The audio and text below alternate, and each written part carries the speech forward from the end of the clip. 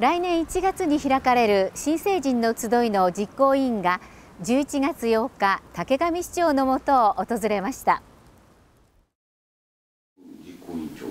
この日は実行委員長の亀井新庄さん副委員長の武田葵さんら4人が市役所を訪れました。実行委員会では9月から月に1、2度集まりポスターのデザインや式典の内容について話し合い当日に向けて準備を進めています。今回のテーマは振り返ろう20年の奇跡。式典では恩師からのビデオメッセージや抽選会のほかテーマにちなんで懐かしいものに関するクイズなどを企画しているということです。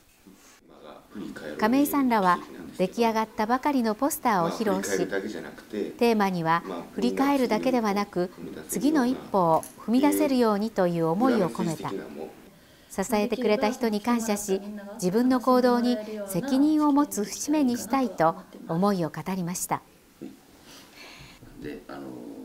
竹上市長は今年のポスターはかっこいいですね人生の節目盛り上がる式典になるよういいアイデアを出してくださいと激励しました